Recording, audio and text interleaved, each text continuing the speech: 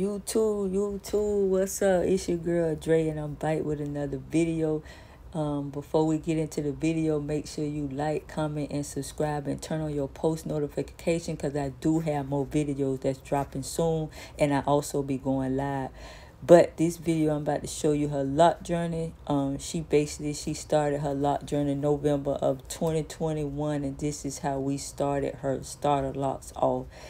And then we got here January of 2022. This is a little growth that she got. And then December of 2023, it started growing and taking off, really looking really good and healthy. She did everything she was supposed to do to take care of her hair.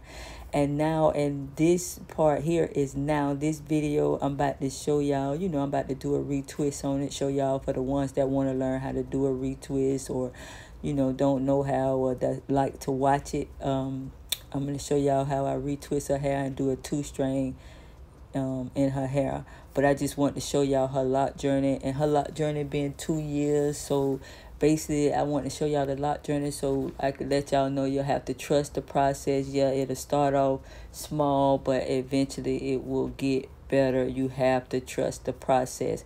But I thank y'all for watching this video, clicking on this video, matter of and watching this video. I thank y'all for liking, comment, and subscribe.